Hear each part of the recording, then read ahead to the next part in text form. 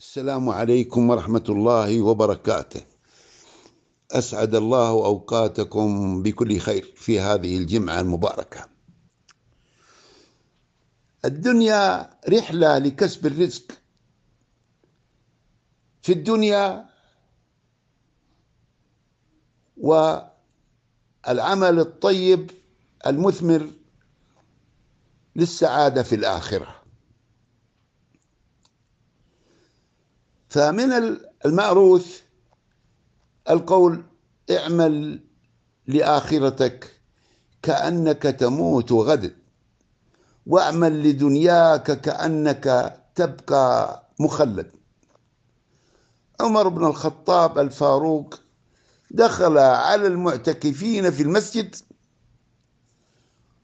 وسألهم من ينفق عليكم؟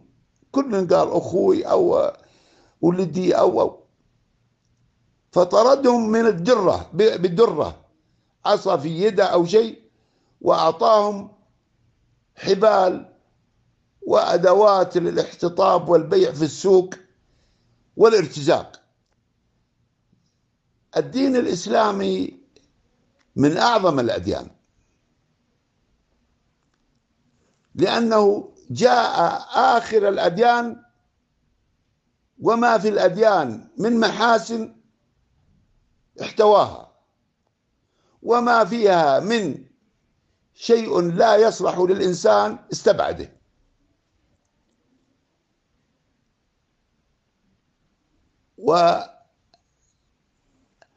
والغلو والتشدد ينفر من الدين وخاصة الأجيال الحديثة ذي أجيال الإنترنت وأجيال ال electronic system تسارع المعرفة. هذولا يجب أن نزين الدين لهم لكي يلتزموا به. أنا لأولاد كبار في السن الحمد لله بعضهم آه، مهنهم عالية وكل حاجة وبعضهم أئمة مساجد. ولكنهم يفهمون الدين وفقا لنص القرآن والسنة الصحيح. ومن يعمل مثقال ذرة خيرا يره. لا يكلف الله نفسا إلا وسعها. كل نفس بما كسبت رهينة. إنك لا تهدي من أحببت ولكن الله يهدي من يشاء. يعني أعرابي قال للرسول يا رسول الله أنا أرى الناس يصومون النهار ويقومون الليل ويبكون ويقولون ما ندري ندخل الجنة ولا ما ندخلها. أعلمني بشيء إذا فعلت دخلت الجنة لأنني صاحب حلال وعيال ولا أستطيع أن أعمل مثل ما يعملون.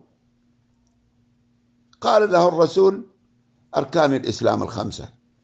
قال إذا فعلتها أدخل الجنة؟ قال نعم.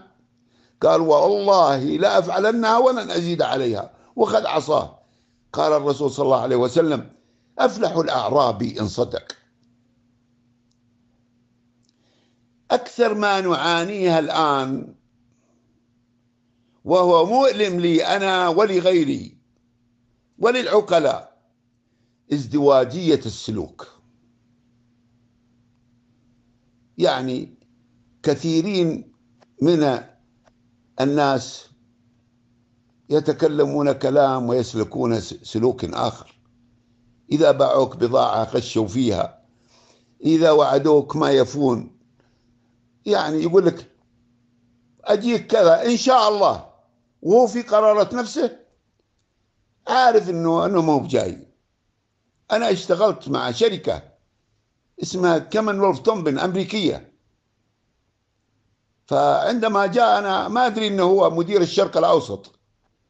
جاني بسيارته قال هذه أنا كنت مسؤول الإجراء السريع اللي تصلح السيارة خلال 24 ساعة. جاني وقال متى أجي آخذ سيارتي؟ أنا ما دريت انه مدير عام المنطقة. قلت إن شاء الله بعد صلاة العصر. أنا كان أقول بالإنجليزي. بقول بالإنجليزي بقولها don't say إن شاء الله without meaning. The Arabs nation they don't know what is the meaning of إن شاء الله. قال أنتم يا العرب لا تعرفون معنى إن شاء الله. تقولون إن شاء الله وأنتم أنتم صالحين ازدواجية السلوك وعدم الانضباط هي خرابنا وخراب تربيتنا.